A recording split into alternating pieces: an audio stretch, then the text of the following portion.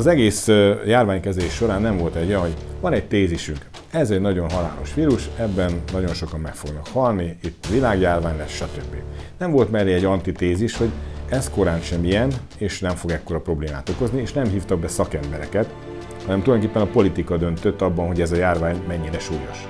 Tehát kellett volna szakembereket megkérdezni, virológusokat, orvosokat, epidemiológusokat, mindenkit, aki ehhez a szakmához hozzá tud valamit szólni.